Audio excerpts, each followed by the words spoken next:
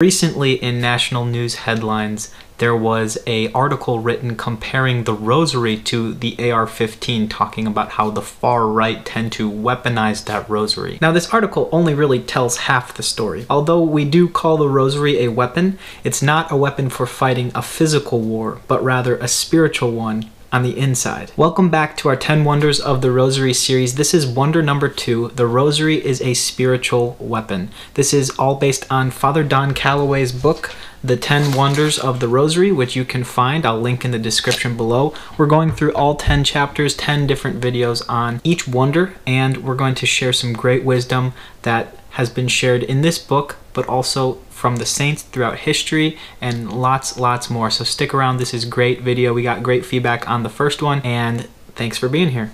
Please like, subscribe to our channel, share our videos with friends, check out sheenrosaries.com. In case you did miss the first video, I'll uh, put a little card up there in the corner and tell you that Mary compared the rosary to a spiritual battering ram. Now, yes, St. Dominic maybe didn't have AR-15s back in the day, but a spiritual battering ram is nothing to take lightly. Now, we've all heard of a WMD or a weapon of mass destruction, but I like to compare the rosary to a weapon of mass formation. Yes, that's because we talked about in that last video that the rosary is a tool for catechesis and evangelical teaching. The rosary is a spiritual weapon because it calls us to meditate on the life, death, and resurrection of Jesus Christ, yes, but also calls us to meditate upon a virtue that that mystery is calling us to in order to combat a specific vice or heresy. Now, Father Don Calloway in 10 Wonders of the Rosary actually uses the luminous mysteries to demonstrate this point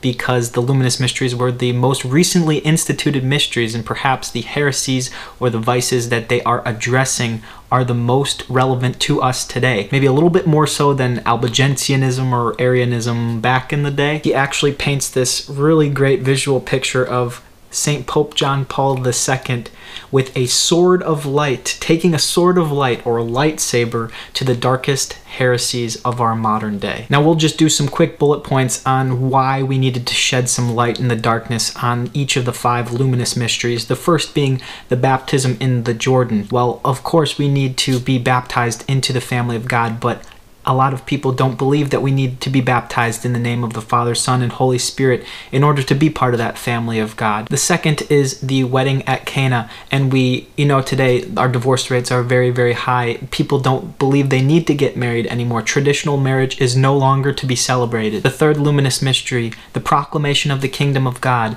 that there is no heaven to hope for, and perhaps maybe just as bad, there is no hell to worry about. The fourth, the transfiguration. Jesus wasn't really God. He was just a hippie life coach guru who had some really good tips. And of course, fifth, and perhaps worst of all, that the Eucharist is just a symbol. It is not the true presence of the body, blood, soul, and divinity of Jesus Christ. And on top of that, that the sacraments are optional and we don't actually have to attend them. Now, this is true outside of the luminous mysteries too. Look at the Annunciation and the Nativity, that Mary is Theotokos, the Mother of God. A lot of people don't believe that or haven't in history believed that. The Ascension and the Assumption, that Jesus and Mary respectively were raised body and soul to heaven. So, how does this relate to the rosary being a weapon?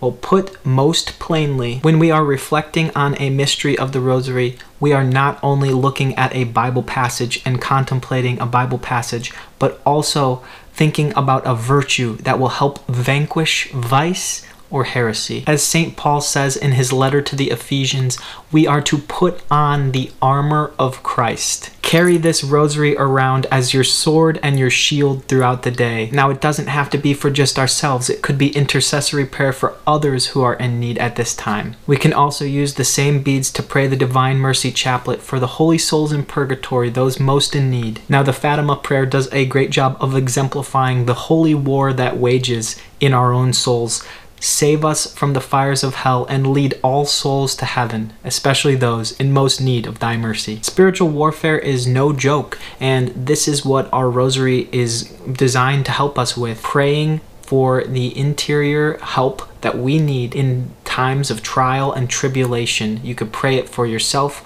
or for others. This is what the rosary is so good at. It's our spiritual battering ram, our lightsaber, our spiritual weapon to combat evil in the battle of our interior souls. This is the second wonder of the Rosary that the Rosary is a spiritual weapon. And to end very succinctly, St. Jose Maria Escriva wraps up this point very nicely.